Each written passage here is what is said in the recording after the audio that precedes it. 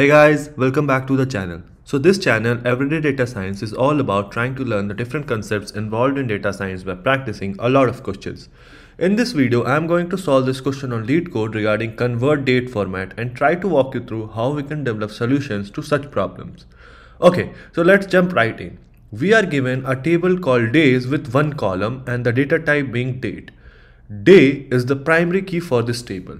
We are asked to write a SQL query to convert each date in the days table into a string formatted as day name, comma, month name, space, day, comma, year. The order of the result doesn't matter. Let's go through this example. So this is the input table and basically we need to say what was the day on this particular date and then name month, day, year, right? So if you see that is the output.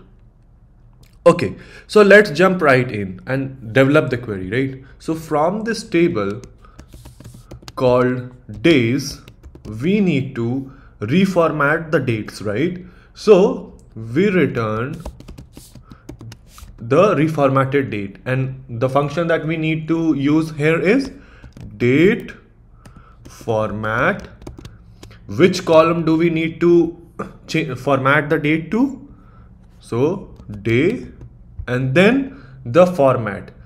Now there is a long list of symbols that you know correspond to different formats right basically what they represent days months years day of the week time etc etc uh, i will put down a link which is a very extensive list of all those symbols uh, you can go through this you don't need to remember any of it uh, but like it's just for your reference so here we say the first thing is day name, right? So we write the format. So for day name, we need to enter ampersand w.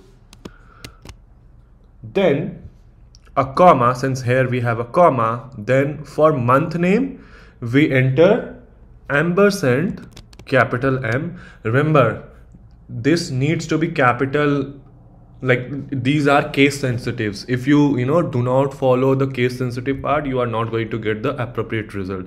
So capital w is day name capital m is month name and then a space.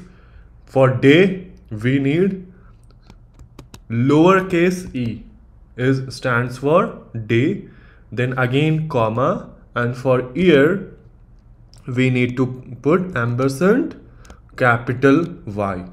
And in the output table the name of the column is going to be day right? So we alias it as day right? So you see what we did from this table days we are now using a function called date format which is using uh, to you know format the date the column that we need to format and the format. And this is how we do this. Let's run this and see what happens. So this is accepted. Uh, let me go ahead and submit it and see what happens and if it passes all the test cases so yeah this passes all the test cases and this is how we solve this. Let me know guys if this video was useful and i will see you guys in the next video